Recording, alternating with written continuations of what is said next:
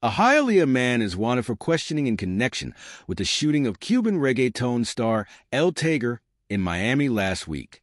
Damian Valdez Galoso, 49, is being sought for questioning in Thursday's shooting.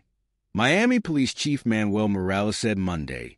We definitely know that he has some information that we need in reference to the ongoing investigation, Morales told reporters the singer, whose real name is Jose Manuel Carbajal Zaldivar, was brought to Jackson Memorial Hospital Thursday with a gunshot wound and had initially been in extremely critical condition.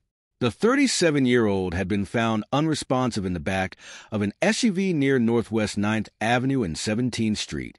Morales said the singer remained in very serious but stable condition on Monday. The chief also confirmed that it was a criminal investigation and that it was not a suicide attempt, as some have reported.